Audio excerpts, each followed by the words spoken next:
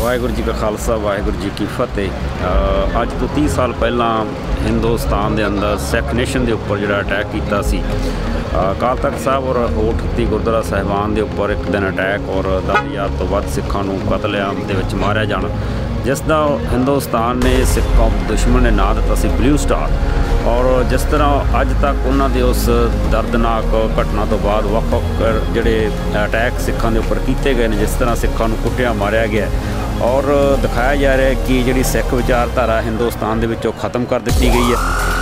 ਉੱਥੇ ਕੋਈ ਆਪਣੀ ਆਜ਼ਾਦੀ ਦੀ, ਆਪਣੇ ਹੱਕਾਂ ਦੀ ਗੱਲ ਨਹੀਂ ਕਰਦਾ, ਪਰ ਇਸ ਦੇ ਖਿਲਾਫ ਜਿਸ ਤਰ੍ਹਾਂ ਦੇਖਿਆ ਜਾਂਦਾ ਕਿ ਬਾਹਰਲੇ ਦੇਸ਼ਾਂ ਦੇ ਵਿੱਚ ਸਿੱਖ ਖੁੱਲ੍ਹ ਕੇ ਆਜ਼ਾਦੀ ਦੀ ਗੱਲ ਕਰਦੇ ਨੇ, ਇਹ ਤੋਂ ਸਾਫ਼ ਹੋ ਜਾਂਦਾ ਕਿ ਇਹ ਨਹੀਂ ਹੈ ਕਿ ਸਿੱਖ ਆਜ਼ਾਦੀ ਚਾਹੁੰਦੇ ਨਹੀਂ ਹੈ ਜਾਂ ਆਪਣੇ ਹੱਕਾਂ ਦੀ ਗੱਲ ਨਹੀਂ ਕਰਨਾ ਚਾਹੁੰਦੇ, ਪਰ ਹਿੰਦੁਸਤਾਨ ਦੇ ਅੰਦਰ ਇੰਨੇ ਉਹ ਗੁਲਾਮ ਨੇ, ਇੰਨੇ ਉਹਨਾਂ ਨੂੰ ਡਰਾਇਆ ਧਮਕਾਇਆ ਗਿਆ ਇਸ ਕਰਕੇ ਉੱਥੇ ਇੱਕ ਡੈਡ ਸਾਇਲੈਂਸ ਕਰ ਦਿੱਤਾ ਗਿਆ ਅੱਜ ਕੈਨੇਡਾ ਜਿਹੜਾ ਕਿ ਦੁਨੀਆ ਦੇ ਵਿੱਚ ਇੱਕ ਬਹੁਤ ਹੀ ਖੂਬਸੂਰਤ ਔਰ ਬੈਸਟ ਕੰਟਰੀ ਹੈ ਜਿੱਥੇ ਫ੍ਰੀडम ਹੈ ਹਰ ਬੰਦੇ ਨੂੰ ਆਪਣੀ ਗੱਲ ਕਹਿਣ ਦੀ। ਉਸ ਦੇ ਵਿੱਚ ਅੱਜ ਦੇਖ ਅਸੀਂ ਦੇਖਦੇ ਹਾਂ ਕਿ ਟੋਰਾਂਟੋ ਦੇ ਉੱਪਰ ਅੱਜ ਕਾਰ ਰੈਲੀ ਜਿਹੜਾ ਕਿ ਹਜ਼ਾਰਾਂ ਕਾਰਾਂ ਇੱਥੇ ਇਕੱਠੀਆਂ ਹੋਈਆਂ ਵਰਲਡ ਸੈਂਟਰ ਤੋਂ ਸਟਾਰਟ ਹੋ ਕੇ ਅ, ਵੱਖ-ਵੱਖ ਗੁਰਦੁਆਰਾ ਸਾਹਿਬਾਨ ਦੇ ਵਿੱਚ ਦੀ ਹੁੰਦੀ ਹੋਈ। ਡੈਕਸੀ ਗੁਰਦੁਆਰਾ ਸਾਹਿਬ ਜਿਹੜੀ ਅ, ਜਾ ਕੇ ਸਮਾਪਤ ਹੋਣੀ ਹੈ। ਉੱਥੇ ਇਸ ਦੇ ਬਾਅਦ ਸਟੇਜ ਵੀ ਲੱਗੂਗੀ।